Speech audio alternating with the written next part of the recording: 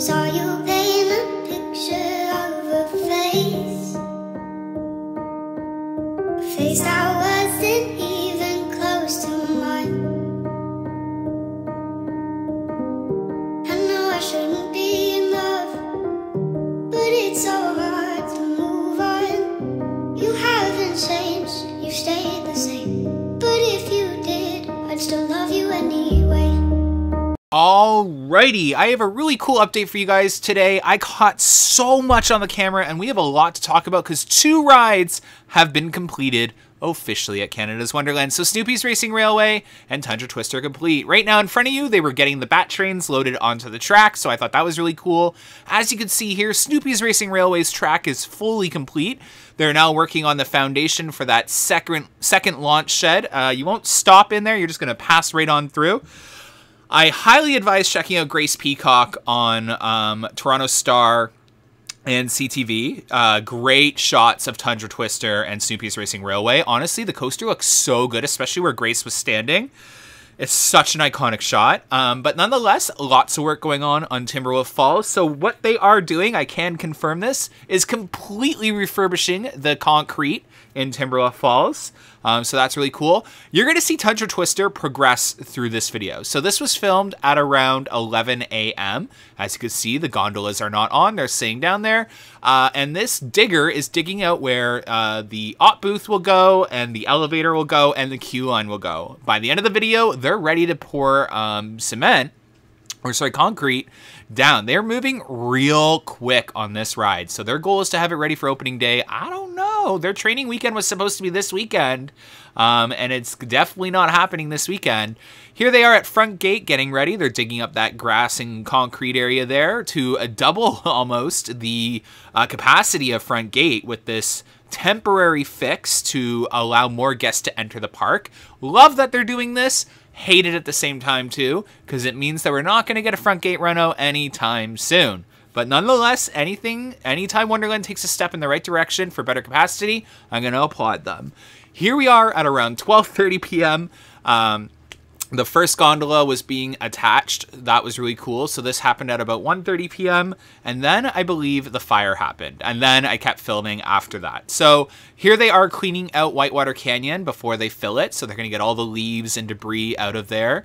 Uh, so this is them doing that. Thought that was really cool because I had never seen that before.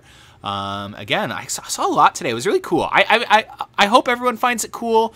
Uh, but I was like, I was I was highly entertained. Are you not entertained? Um, but here's Vortex's paint job in the sun, looking vibrant as f. Like it looks good. Like I love it. Like now that I see it on a bright sunny day, I'm like, yes, Wonderland, yes. Um, but here we are, Tundra Twister with two gondolas. So this was filmed at exactly 3 p.m. because I remember I looked at the time, 3 p.m. Okay, send the drone up. Um, so here it is, two gondolas attached um, on Tundra Twister. I, they did not unravel it. Unravel it? Yes, is the right word? Yes, it's the right word. I think so tear me apart in the comment section if it isn't, but um, there we are. And as you can see, off to the left is where the queue line is going to go, where that digger currently is moving. That is where the queue line is, as you can see as they progress. So this is around 3.30 p.m., I believe. Uh, a lot of flattening, and um, then you're going to see gravel, I think. The last shot, I think at around 4 p.m. when I flew, um, they uh, put some of that gravel down where they then can pour concrete on top of it. But yeah, they made really quick progress now. Like it's so funny. Wonderland, like I don't know what it is. It's obviously weather related. It has to be weather related. You know, when there's still snow on the ground and it's winter, it's like so slow, slow moving, blah blah blah. And then as soon as the weather gets warm, you're like, there's no way this is gonna be done anytime soon. It's like bam, bam, bam, bam, bam, bam, bam, and done. So I, I just like it's I have that saying now Wonderland just has a way of pulling through. So, um, yeah, this is uh, the 4 p.m. shot of Front Gate. So after they had ripped up all the grass up there um, and concrete, I'm um, super excited to see how that helps, you know, alleviate crowds at the front gate and those long lines.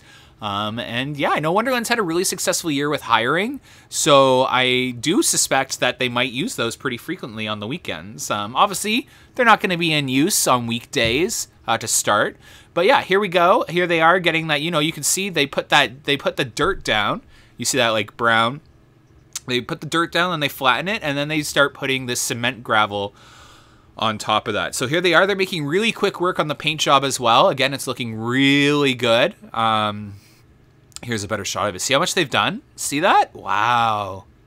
That sounds so unenthusiastic, but I mean it. Like, wow. Um, but yeah, here it is by the end of the day.